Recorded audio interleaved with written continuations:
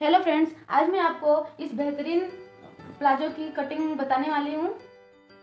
तो आप देख सकते हैं, ये मैंने प्लाजो कटिंग कर लिया है। इसकी वीडियो, इसकी जानकारी मैं इस वीडियो में देने वाली हूँ और इसका मेज़रमेंट आपको मैं बता देती हूँ, बहुत छोटी साइज़ है। तीस इंच का इसका सीट है, छब्बीस की कमर है। लेकिन इसे जो मेथड मैंने इसमें बताया, इस मेथड से आप किसी का भी प्लाजो आराम से कटिंग कर सकते हैं और उसमें ये इस तरीके से जो यहाँ पर बैठने पर हमें प्रॉब्लम होती है आसन में तो आपको वो प्रॉब्लम आने वाली नहीं है। एकदम परफेक्ट फिटिंग आएगी कंफर्टेबल रहेगा। तो किस मेथड से मैंने इस प्लाजो को कटिंग किया है, आप इसे ज़रूर देखिए, पूरी वीडियो देखिए। बहुत ज़्यादा बड़ी लंबी वीडियो नहीं है, लेकिन आपके हेल्पफुल में बहुत आएगी। तो चलिए हम वीडियो स्टार्ट करते हैं, और लाइक ज़रूर करिएगा वीडियो को चैनल को सब्सक्राइब करिएगा। तो ये मेरे पास डेढ़ मीटर कपड़ा है, मैं इसका प्लाजो बनाने वाली हूँ, सादा प्लाजो। और इसका मेज़रमेंट आपको बता देती हूँ मैं। थर्टी सिक्स इसकी पूरी लंबाई है और सीट तीस इंच बॉटम बीस, कमर इसकी छब्बीस इंच है, लेकिन कमर का यूज़ सिर्फ़ लास्टिक लगाते समय ही यूज़ में आने वाली है। तो हम इस तीन मेज़रमेंट से प्लाजो कटिंग करेंगे। तो सबसे पहले हमें इस कपड़े को फोर फोल्ड में घड़ी करना है। तो देखिए कपड़े को पहले मैं एक फोल्ड में करूँगी। ये देखिए, दो हो गया। इस तरीके से।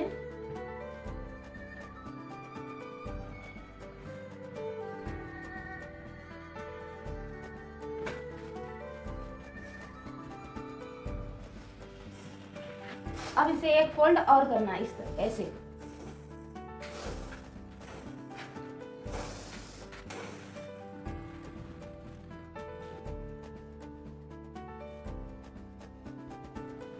तो सबसे पहले हम क्या करेंगे? यहाँ ऊपर में एक दो इंच का गैप देंगे। यहाँ से दो इंच पे। अगर आपकी इलास्टिक को ज़्यादा चौड़ी है तो आप ढाई इंच भी ले सकते हैं। तो मैंने दो इंच पे निशान लगाया। इसे सीधी लाइन मारनी इस तरीके से। अब ध्यान रखिएगा कि जो फोल्डेड पार्ट होगा वो आपके, अपने साइड में रखना है। मतलब इस तरफ़ रखना है। और जो खुली साइड होगी वो सामने सामने की तरफ़ जाएगी। अब क्या करेंगे हम? सीट को देखेंगे तो सीट हमारा तीस है तो तीस को हम तीन भाग में डिवाइड करेंगे। तो जैसे कि आप देख सकते हैं, ये मेरा तीस आया। तो तीस को हम इस तरीके से फोल्ड करेंगे। ये देखिए। तो ये हमारा दस आया। तो यहाँ से हम दस इंच पे निशान लगाएँगे। ये बहुत छोटी साइज़ है। यहाँ से अब इसे हमें सीधी लाइन मारेंगे तो ये हमारी हो गई आसन की लंबाई। अब यहाँ से क्या करना है? सीट का चौथा भाग तो साढ़े सात आएगा, उसमें डेढ़ इंच प्लस करेंगे। ये देखिए, डेढ़ इंच प्लस किया, पर इसे सीधी लाइन मारनी है हमें।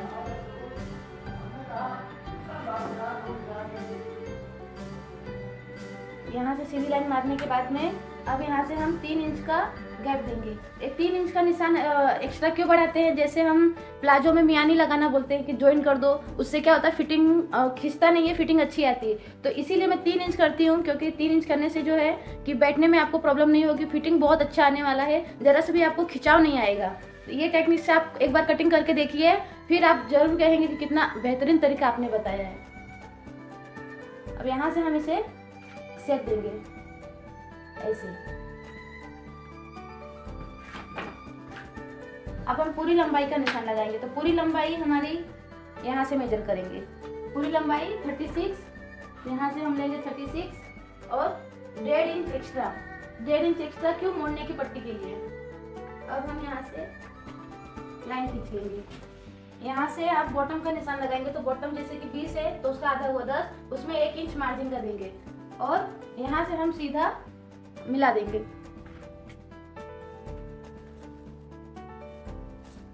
इस तरीके से टेप को रखेंगे और सीधी लाइन हम मार देंगे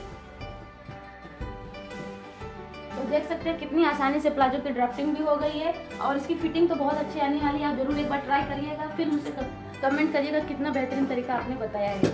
मैं गारंटी के साथ कहती हूँ, आपका प्लाजो बहुत ही अच्छा बनने वाला है। अब हम इसे कटिंग करेंगे। तो कटिंग कहाँ से करेंगे? ऐसे।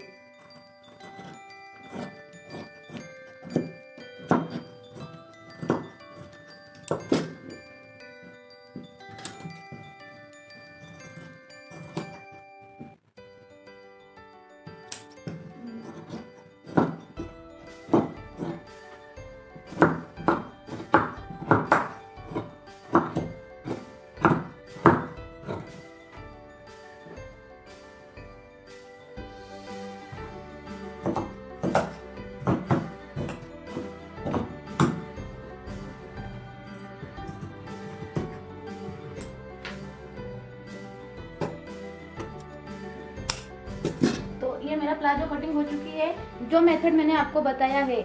इस मेथड से अगर आपने किसी का भी प्लाजो बनाया, कितनी भी हैवी साइज़ आपका गारंटी है कि बहुत अच्छा बनेगा। अगर आपकी ज़्यादा, बहुत ज़्यादा हैवी सीट है तो उसके लिए हम यहाँ पर साढ़े तीन इंच कर देंगे।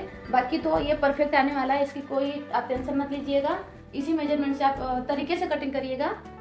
तो चलिए हम नेक्स्ट वीडियो में मिलते हैं। इसका मैं सिलाई का वीडियो ज़रूर अपलोड करूँगी। उसको भी आप देखिएगा, किस तरीके से सिलाई करते हैं। पूरा लास्टिक डालना मैं बताऊँगी पूरा सेटिंग इसका सिलाई बताने वाली हूँ कंप्लीट तो उसे भी आप ज़रूर देखिएगा। तो चलिए मिलते हैं हम नेक्स्ट वीडियो में।